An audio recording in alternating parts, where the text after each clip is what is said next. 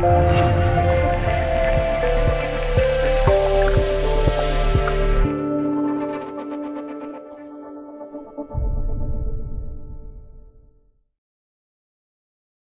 料图：马哈蒂尔。新华社记者朱伟。社参考消息，网八月十三日报道，外媒称，马来西亚总理马哈蒂尔说，政府已开始安排向新加坡当局索回一个马来西亚发展有限公司 （EMDB） 案关键人物刘特佐涉嫌挪用一马资金购买的私人飞机。据悉，该私人飞机去年被新加坡执法单位扣押，目前停放在十里达机场。据新加坡联合早报网站八月十三日报道。马哈蒂尔八月十二日和夫人西蒂哈斯玛一同出席公开活动后，被问及政府是否试图从新加坡取回刘特佐的私人飞机时说：“我们必须将他带回马来西亚。我们尝试取回所有被盗取的钱。我们知道谁拥有这些钱，但我们不知道他在哪里。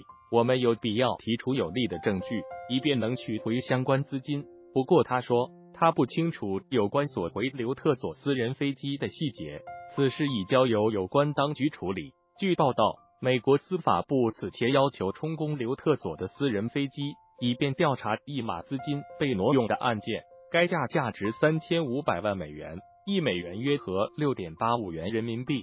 本网注的庞巴迪全球五千型喷气式飞机，被指是一马公司遭盗用的十亿美元资产的一部分。他据称已于今年二月在新加坡被当局扣押，不过新加坡警方以此案正在调查，不便回应为由，拒绝证实此事。报道称，此外，针对刘特佐驳斥美国已证实平静号是用一马资金购买的说法，并指这是马哈蒂尔把自己的话套在美国政府的口中一事，马哈蒂尔以一贯嘲讽的方式回应说。我感到非常荣幸能把话套在美国政府口中。他表示，刘特佐若有疑问，大可以询问美国当局。